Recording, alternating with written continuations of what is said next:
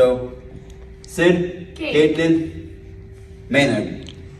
I just got him a few months ago and I wanted to have a well-trained dog and I always wanted to have a dog that can eventually be made into potentially a therapy dog so that I can take him around the hospital and have patients and employees pet him and put a little bit of a smile on their face. And I came across Bullet- Bulletproof Dog Training as a Google search.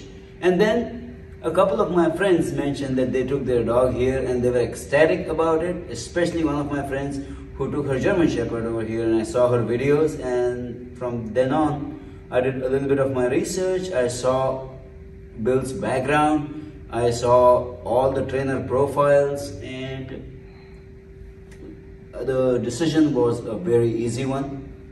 I am, this is not over.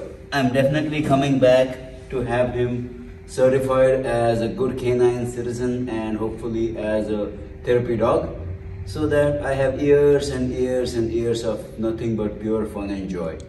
Quentin and Madison have been wonderful. I can tell that they're very passionate about their work and I can see that he's been very happy working with them. He's a little tired right now because we have made him work to no end today, which is okay. But I am very happy with the result. Now it's going to be a lot of work on my part, which I'm ready to put in. So thank you very much, folks.